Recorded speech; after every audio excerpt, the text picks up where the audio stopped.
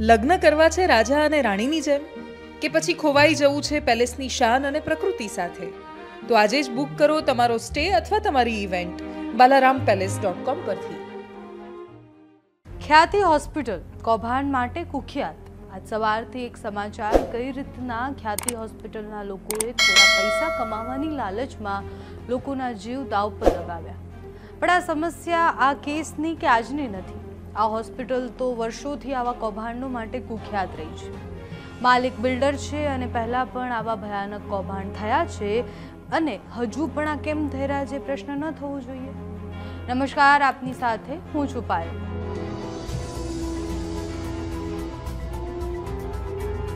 અમદાવાદના SG highway પર આવેલી ખ્યાતિ હોસ્પિટલ, કડીમાં ફ્રી કેમ્પ, હોસ્પિટલ કેમ્પ યોજ્યો હતો, જેમાં ઓગણીસ દર્દીઓને ખ્યાતિ હોસ્પિટલમાં સારવાર માટે બોલાવવામાં આવ્યા કે ભાઈ તમને આ તકલીફ છે, તમારે અહીંયા આવવું પડશે.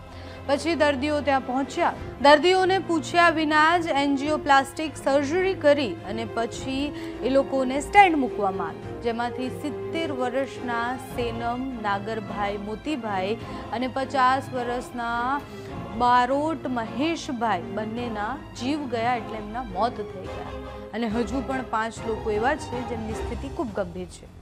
કારણ શું? તો પરિવારજનોના આરોપ છે કે હોસ્પિટલમાં મહાકાળ, જેમાં અમૃતમ કાળ હોય છે, એ કાળમાં પૈસા કમાવવા માટે અને એમાં દર્દીને સ્ટેન્ડ મૂકી અને પૈસા હોસ્પિટલ ખાઈ જાય એના માટે આખી સર્જરી કરવામાં આવી. હવે વર્તમાનની ઘટનાથી થોડા ભૂતકાળમાં જઈએ. આ હોસ્પિટલની જે કુંડલી છે, એ ચેક કરીએ આપણે. તો ખ્યાતિ હોસ્પિટલ જાણીતા બિલ્ડર કાર્તિક પટેલની છે કાર્તિક પટેલ બિલ્ડર અને શૈક્ષણિક સંસ્થા ચલાવે છે. ખ્યાતિ ગ્રુપના ચેરમેન છે કાર્તિક પટેલ અને પલોડિયામાં પણ એમની એક કોલેજ છે. ખ્યાતિ કોલેજ કેમ્પસ છે આખું મોટું. અને આ હોસ્પિટલનું સંચાલન ચિરાગ રાજપૂત પણ કરતા હોય છે. હોસ્પિટલમાં ચિરાગ રાજપૂતની મુખ્ય ભૂમિકા હોય તેવી પણ વાત અત્યારે સામે આવી છે. પહેલાં હોસ્પિટલની હિસ્ટ્રી જોઈએ તો ખ્યાતિ હોસ્પિટલનું નામ એશિયન બેરિયાટ્રિક હોસ્પિટલ હતું. હોસ્પિટલને જમીન અને બિલ્ડરનું કામ કરતા ખ્યાતિ ગ્રુપે આને ખરીદી લીધી.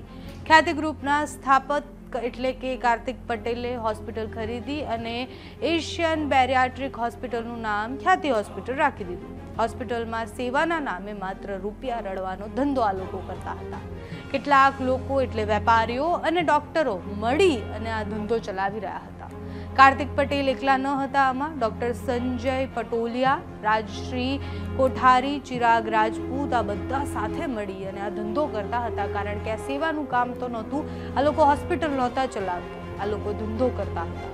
આને પહેલાં પણ કૌભાંડના અનેક સમાચારો આવ્યા છે. ખ્યાતિ હોસ્પિટલમાંથી. આની પહેલાં પણ આવો જે કેસ બન્યો હતો વર્ષ બે હજાર બાવીસમાં, વર્ષ બે હજાર બાવીસમાં કૌભાંડ શું થયું હતું? તો બે વર્ષ પહેલાં તેલાવ ગામ હતું સાણંદનું. ત્યાં હોસ્પિટલ દ્વારા કેમ્પ રાખવામાં આવ્યો હતો. આવી રીતના જ કેમ્પ કર્યો અને પછી દર્દીઓને હોસ્પિટલ બોલાવી અને સ્ટેન્ડ મૂક્યા. અને તે વખતે પણ ત્રણ દર્દીઓ સારવાર દરમિયાન તેમના મોત થયા હોય એવા સમાચાર આવ્યા. જેમાં દર્દીના પરિવારજનોએ એવો આરોપ મૂક્યો કે ભાઈ, અમારા જે લોકો હતા, અમારા પરિવારજનો હતા, એકદમ સ્વસ્થ હતા, અહીંયા ખોટી સર્જરી કરી અને આ લોકોને મારી નાખવામાં આવ્યા છે. વસ્ત્રાપુર પોલીસ સ્ટેશનમાં ગુનો પણ નોંધવામાં આવ્યો. એટલે બે વર્ષ પહેલાં સેમ પેટર્નથી આ જ કર્યું હતું અને ફરીથી સેમ પેટર્નથી આ જ થયું છે. અને છતાં પણ આ લોકો સામે કોઈ જ કાર્યવાહી નથી થઈ. આ હોસ્પિટલ બંધ નથી થઈ. આ લોકો ધંધો કરી રહ્યા છે. બધાને ખબર છે, પણ આ ધંધો બંધ નથી કરવામાં.